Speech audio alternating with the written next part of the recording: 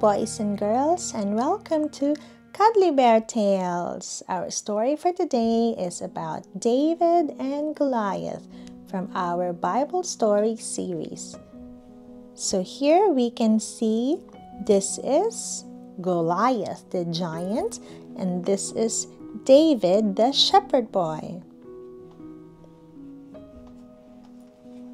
David and Goliath. Saul was the king of Israelites, though lately he had been disobeying God.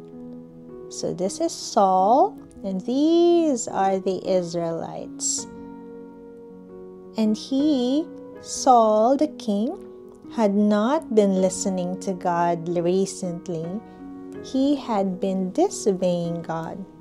So God chose the youngest son of Jesse, David, as the next king.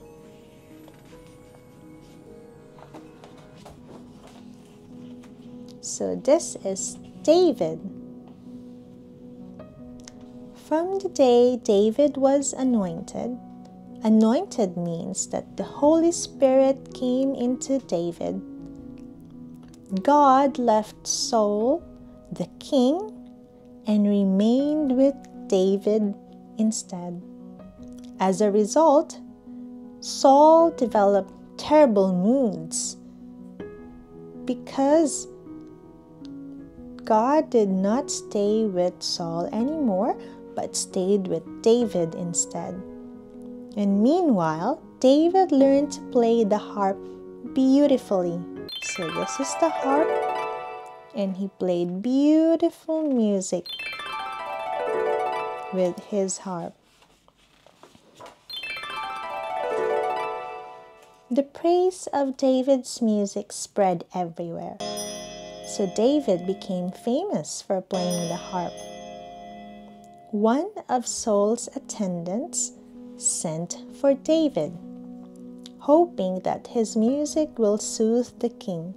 Because remember, this is Saul, Saul the king, who had terrible moods because God has left him because of not listening to God anymore and because he had disobeyed God in so many ways.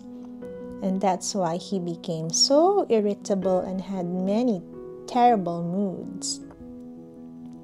But David's music soothed the king for a while. So this is David, and now he went into the palace and played beautiful music to the king with his harp.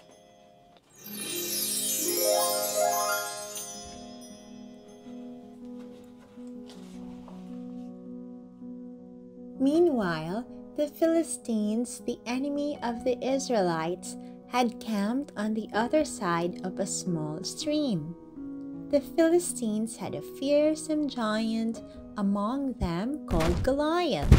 He was nine feet tall. That's bigger than a basketball player, bigger and taller. And these Philistines are the enemies of the Israelites. For 40 days, he kept challenging the Israelites to fight him. So, this is the giant Goliath. And he kept challenging the Israelites to fight him. They are on the other side of the stream. But nobody stepped forward because they were all scared. That's right. At this time, three of David's brothers were serving in Saul's army. So David has brothers who are also serving here, one of the soldiers in Saul's army. One day, David's father so this is David, sent him to deliver food to his brothers. And these are David's brothers. In the battlefield, David heard the giant's challenge. I will fight him, said David. He was then taken to Saul. So, this is David, who was very strong and wanted to fight the giant, whose name was Goliath. Saul tried to dissuade David from the fight. So, this is Saul, remember, the king of the Israelites, tried to stop David from the fight and told him and convinced him don't fight the giant. But David was very brave and strong. David said, God has always helped me. He shall help me today as well. David said, determined. He was very strong and he believed and trusted that God will help him, just as he always had. Then, armored with his slingshot, this is his slingshot, and five pebbles. David went to fight Goliath, Goliath the Philistine. And this is David the Israelite. David said, I will fight you in the name of the God of Israel, said David. And look at look at the reaction of the Philistines. What are they doing? How do they feel? They were laughing at David, thinking that they, David could not win because David is such a small boy and Goliath was nine feet tall. But let's see what's next. David placed a pebble in his slingshot and hurled it towards Goliath. The pebble hit Goliath between his eyes.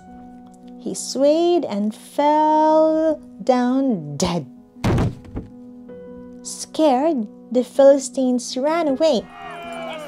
David became the hero of the Israelites. So this is David, and this is Goliath who fell down because of David's slingshot.